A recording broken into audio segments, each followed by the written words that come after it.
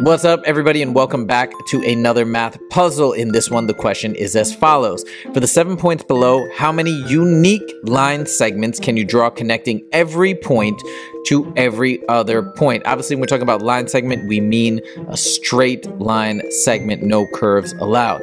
Hit that pause button and see if you can figure it out. When you're ready, hit play, and I'll give you the explanation. All right, so as we begin a puzzle like this, if we're gonna actually draw it out, the way that we're gonna start is as follows. We're gonna first just connect them all around, and that's gonna make a polygon, right? And since we have seven points, right, connecting them all like this on the outside is going to be seven line segments.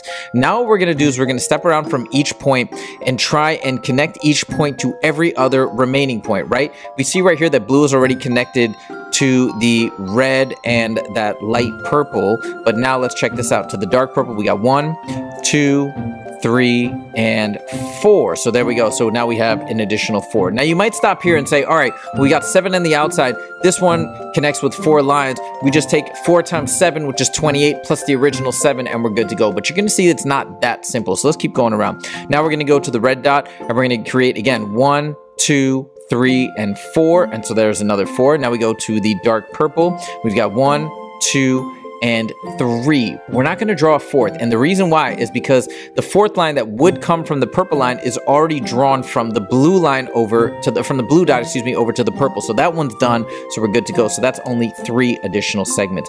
Now we go to the dark green. We've got one, two, and we don't even need three or four, right? Because we already got the blue line and the red line coming across. So that's just two right there. And last but not least, we're gonna go to this dark brown and we've got one line to that pink color. Once we get to the orange and to the light pink or light purple I should say we we already have lines connecting them between every other point so we're done there's nowhere else to go so it's actually less than what we may have incorrectly predicted at the beginning so now we're going to add these all up and we get 21.